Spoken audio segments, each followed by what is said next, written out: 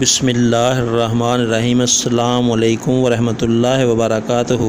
الجلیل channel کی طرف سے آج میں اپنے ناظرین کو غیب سے رزق ملنے کا وظیفے کے بارے میں نبی کریم صلی اللہ علیہ وآلہ وسلم کا ارشاد بتاتا ہوں۔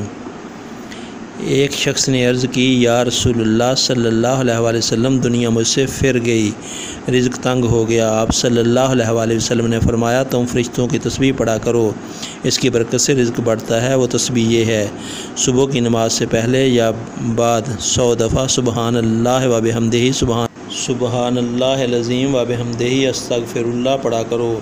اس کی برکت سے دنیا تمہارے پاس ذلیل و خوار ہو کر آئے گی۔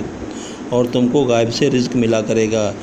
اس تسبیح کے ہر کلمے کی برکت سے اللہ تعالیٰ ایک فرشتہ پیدا کرے گا جو قیامت تک یہ تسبیح پڑھتا رہے گا اور تم کو اس کا سوا ملا کرے گا۔ اس شخص کا کہنا ہے کہ میں نے یہ وظیفہ پڑھنا شروع کیا اور ہمیشہ پڑھتا رہا۔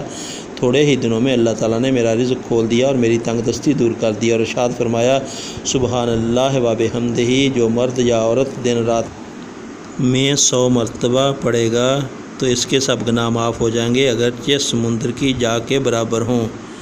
اب آپ دوستوں سے گزارش ہے کہ اگر آپ اس چینل پر نیو ہیں تو پلیز اس چینل کو سبسکرائب کیجیے، شیئر کیجیے، لائک کیجیے۔